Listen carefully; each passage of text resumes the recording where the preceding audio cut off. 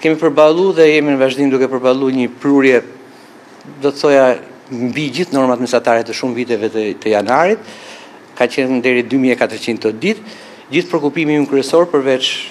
kuptohet detyra kryesore të ruajtjes së digave, prodhimit edhe mirëfunksionimit ka qenë edhe prurjet në ose shkarkimet në Vaun e Dejës, për arsye se kemi një sensibilitet të të të shtuar do të thoja në këtë moment të përmbytje kur gjithë zona e Nënshkodrës është me me përmbytje dhe me dhe me ujëra. Kështu që aty kemi arritur të menaxhojmë në mënyrë